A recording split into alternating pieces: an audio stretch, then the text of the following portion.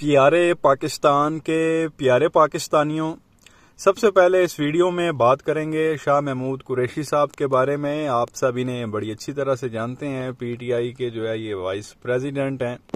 प्यारे पाकिस्तानियों, अब से कुछ देर पहले जो है वो इनको गिरफ़्तार कर लिया गया है। शाह महमूद कुरैशी साहब को इस्लामाबाद से इनकी रिहाइश गाह से गिरफ़्तार किया गया है। एफ़ आई ए ने शाह महमूद कुरैशी को साइफर केस में गिरफ़्तार किया है। और इनको जो है वो F I A headquarter जो है वो मुंतकिल कर दिया गया है।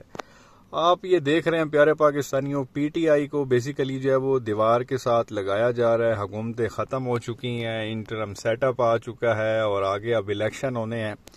चाहे दो महीने बाद हो या तीन महीने बाद हो, होने इलेक्शन है तो कोशिश यही अब की जाएगी कि पीटीआई के जितने भी जो लोग हैं वैसे तो आप कह लेंगे 90 परसेंट से जो है वो पार्टी आप कह लेंगे तुड़वा दी गई थी और लोग जो है वो वफादारियाँ अपनी तब्दील कर गए थे। ऐसे ऐसे लोग पीछे हटे जिनसे आप कह लेंगे बंदा सोच भी नहीं सकता था कि ये भी छोड़ देगा। तो 90 परसेंट लोगों ने छोड़ी तो ये शाह महमूद कुरैशी साहब इन्होंने नहीं छोड़ी। और इनको भी जो है वो अरेस्ट कर लिया गया है। देखें अब ये कब आगे प्रेस कॉन्फ्रेंस करते हैं और कहते हैं कि जी मैं भी जो है वो पीटीआई छोड़ने का ऐलान करता हूँ और चेयरमैन साहब, जो खान साहब हैं हमारे, वो ऑलरेडी जो है वो जेल में है। तो ऐसे में इस तरह करके जो है ये लोग पूरा धांधला करके कोशिश करेंगे कि हम जो है वो इलेक्शन जीत जाएँ। अब अब आवाम देखते हैं आगे क्या करते हैं। होना तो यही है जो बाहर नज़र आ रहा है। अगर तो पीटीआई के लोग खड़े होंगे, फिर तो बात ही खत्म हो जाएगी। लेकिन अगर उनको खड़े ही नहीं हुआ, होने दिया जाता, जिसको भी टिकट दिया जाएगा पीटीआई का, अगर उसको ही गायब कर दिया जाता तो वो फिर अवाम किसको वोट डालेगी? तो पीछे फिर एक ही रास्ता रह जाता कि अवाम बाइकआउट कर दे इलेक्शन का। इलेक्शन वाले दिन जो है वो घर से ही ना निकले। तो जब आप कह लें कि टेन परसेंट भी अगर लोग वोट डालने नहीं आएँगे तो ऑलरेडी फिर इस इलेक्शन की जो है वो कोई हैसियत नहीं रह जाएगी।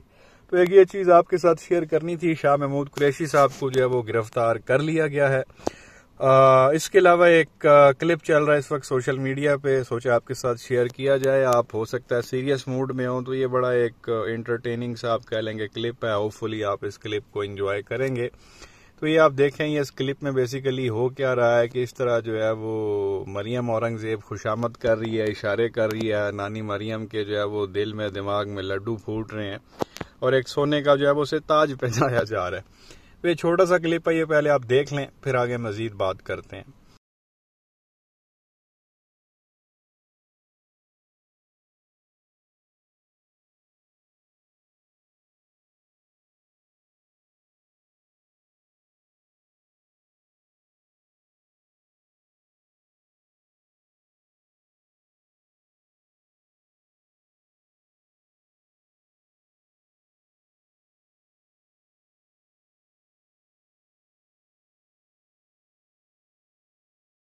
तो ये प्यारे पाकिस्तानियों, आपने देखा।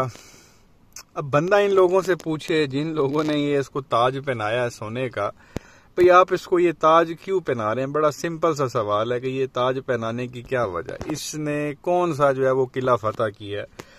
किया क्या मतलब बेसिक जो है ये सवाल यहाँ पे ये बनता है। इसके बाप की पार्टी, बाप जो है वो इसको खुद यहाँ छोड़ के या आप कह लें पेश करके वहाँ लंदन भाग गया और ये यहाँ पे धमकियाँ लगाती फिर रही है हर बंदे को, हर इदारे को, जगह जगह।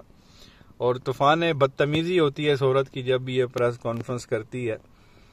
किया क्या इसने लोगों की गंदी वीडियोस रिकॉर्ड करने के अलावा? इस औरत की क्या स्ट्रगल है? पाकिस्तानी पॉलिटिक्स में सियासत के लिए जो है, वो इस औरत ने क्या किरदार अदा किया? तो पाकिस्तान के कर्जे माफ़ करवा दिए इसने। या इदारे इसने प्रॉफिटेबल बना दिए हैं पाकिस्तान के। को फैक्ट्रियाँ लगा दी हैं, कोई इंडस्ट्रियाँ इसने यहाँ पे लगा दी हैं को गरीब आवाम के लिए को बहुत बड़ा इसने काम कर दिया। किया क्या है? कौन सी ऐसी फ़ील्ड है जिसमें नानी मरियम ने जो है, वो पाकिस्तान का नाम रोशन किया है, जिस वजह से जो है उसको सोने का ताज पहनाया जा रहा है? कोई वजह होती है ना? मतलब हद है यार खुशामद करने की भी। अब बंदा सिंपल सा सवाल है जी, क्यों पवा रहे वेनू बात खत्म हो जाती है यहाँ पे। तो बहरहाल, एक ये चीज़ आपके साथ शेयर करनी थी। क्या कहेंगे, नीचे कमेंट सेक्शन में अपनी राय का इजहार ज़रूर करें। वीडियो को लाइक करें चैनल को सब्सक्राइब करें बेल आइकन पर क्लिक करें। शुक्रिया।